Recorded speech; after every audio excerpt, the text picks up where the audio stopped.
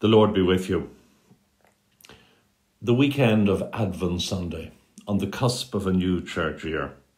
What does one say sim- simultaneously to the Diocesan Synod of Cashel, Ferns and Ossory, virtually assembled online, and to the wider diocese um, via our online platforms this particular special weekend? I've always loved Advent. I suppose there's a certain sentimentality of association and expectation about it. One delights in the traditional practices like the lighting of the successive candles on the wreath as we get nearer to the celebration of the true light of Christmas. These things, certainly this particular weekend, we're going to feel rather robbed of. And Advent is going to be a good deal more austere, but then perhaps that's in the true nature of it.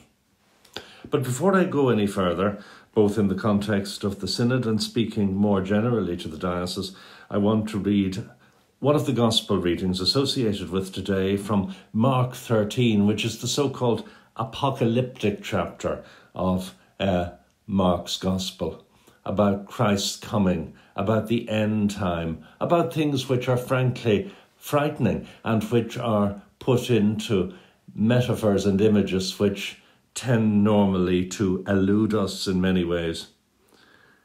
This year, perhaps they'll wash over us less than they might normally do. But, says Jesus, in those days after that suffering, the sun will be darkened, and the moon will not give its light, and the stars will be falling from heaven, and the powers in the heavens will be shaken. Then they will see the Son of Man coming in clouds with great power and glory. Then he will send out the angels and gather his elect from the four winds, from the ends of the earth to the ends of heaven. From the fig tree learn its lesson. As soon as its branch becomes tender and puts forth its leaves, you know that summer is near. So also, when you see these things taking place, you know that he is near at the very gates.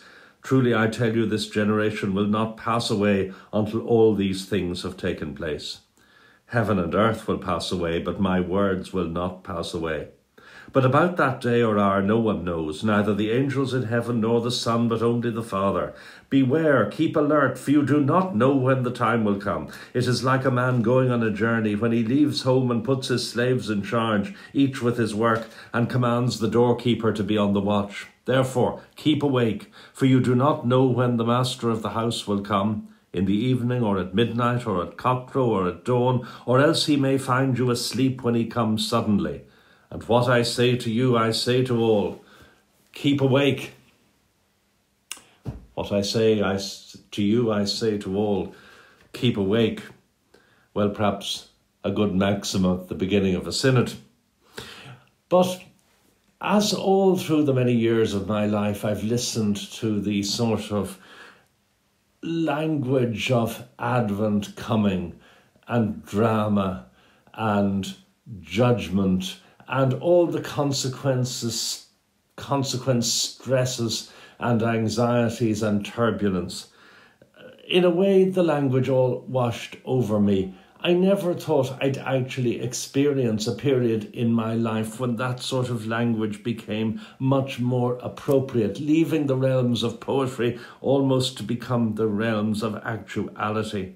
And I'm not suggesting that the present turbulence, the present pestilence, is something directly visited on us by God, far from it.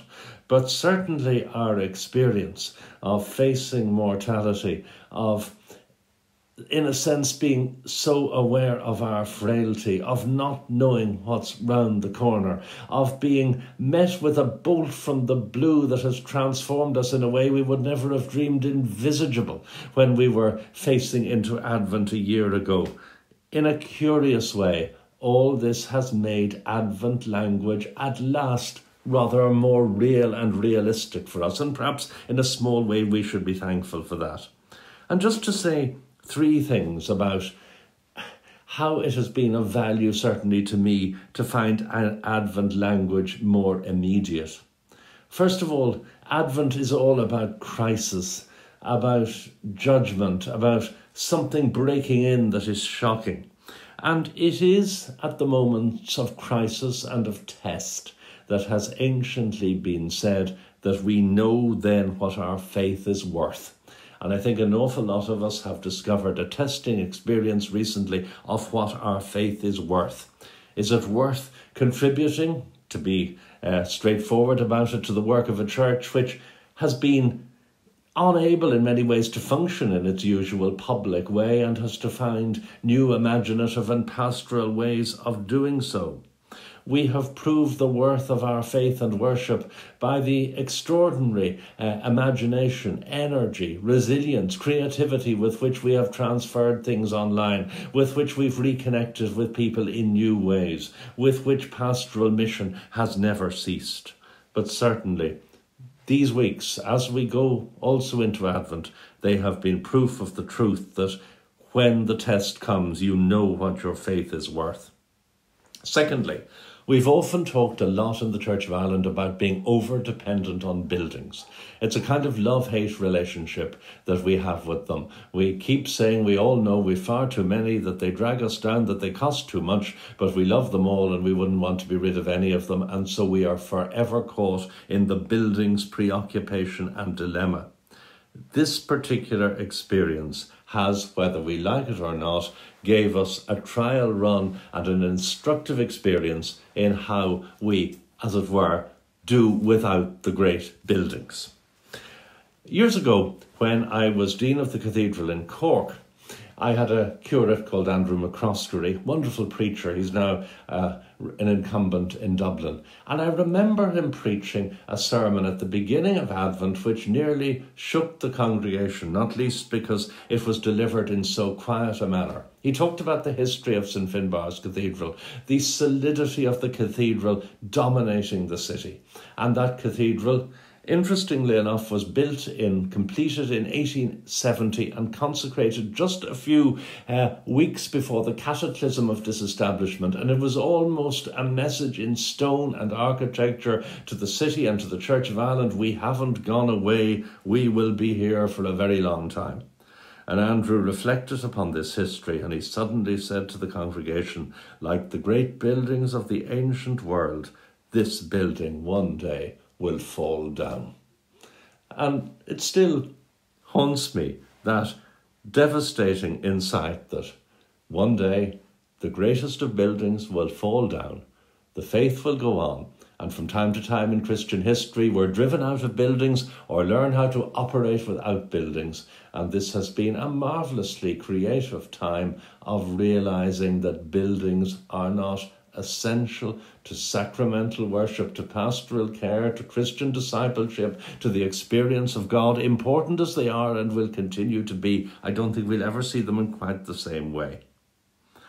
And the last thing I might say that is truly Adventy is this when I was a curate, I remember my first rector telling me rather wistfully he always preached in Advent when he was young on the last things death, judgment, heaven, and hell, but he'd found it increasingly hard to make them connect with the reality of life. And I've found it hard too each Advent to talk about the last things in the run up to Christmas when everybody is concerned with shopping and consumerism. And in some ways, Advent is normally a big demonstration that we all live in the fickle power of the market. But this particular year, we've a new sense of the last things.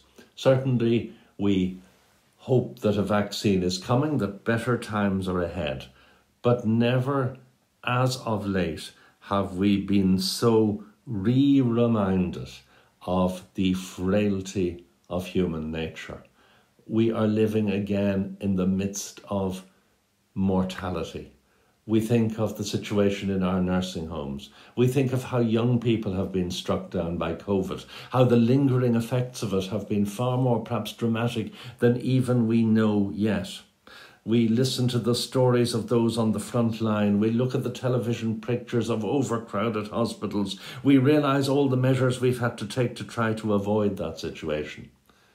Never in a long time, possibly in a century, have we been so aware of, in a way, the last thing in this human life that is the reality of mortality And it's no harm occasionally to know anew that we are fearfully and wonderfully made, and that in the midst of life we are in death. And to whom can we turn for help? But only to a merciful God. And it is a truth that it is often pestilence, war, and test that somehow has strengthened faith in the long term. Even when we are terrified, it has weakened the economies and the essential structures and the operating fabric of the church almost beyond measure. And yet somehow faith comes out the better, leaner, and more authentic. Enough about thoughts of Advent. To the Synod, one might say, this is a unique occasion. One hopes there won't be online synods needed in the future, although we'll have learned to have many online and hybrid meetings. But people will look back at this synod as a historic event and they'll wonder what it was like.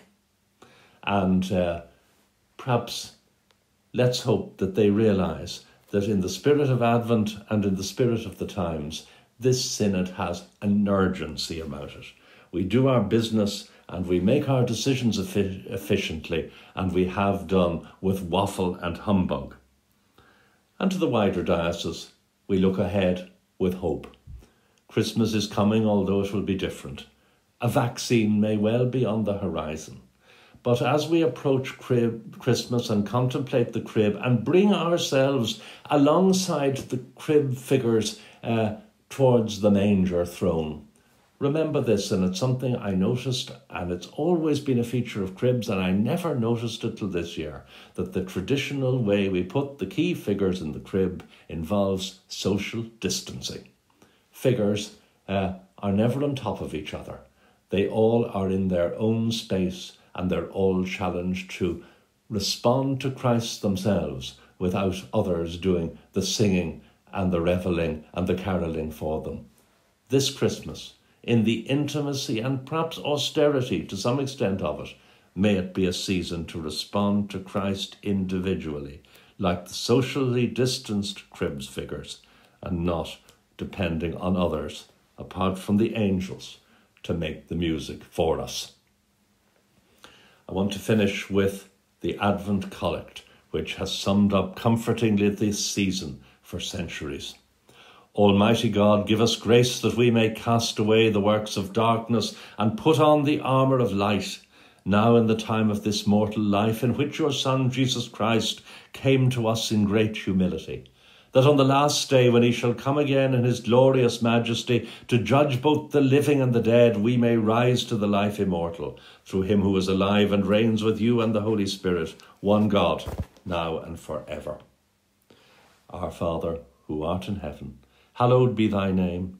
Thy kingdom come, thy will be done on earth as it is in heaven.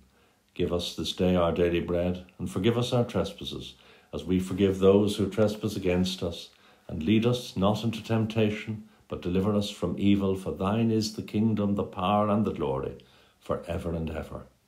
Amen. Two verses finally of the most seasonal of Advent hymns. O come, O come, Emmanuel, praying for wisdom for the synod, praying for the dispersion of gloom for us all. Perhaps best sung not by a big choir, but by a plaintive voice in the distance.